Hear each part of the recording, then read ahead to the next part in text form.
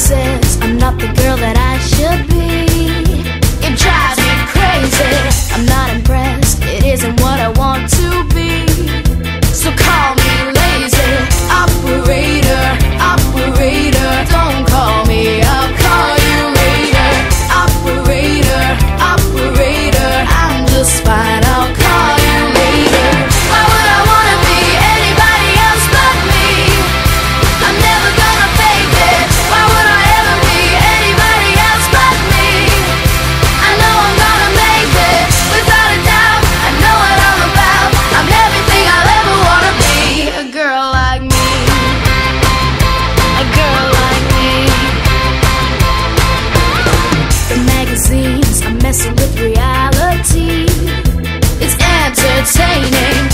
as we don't ever take it serious.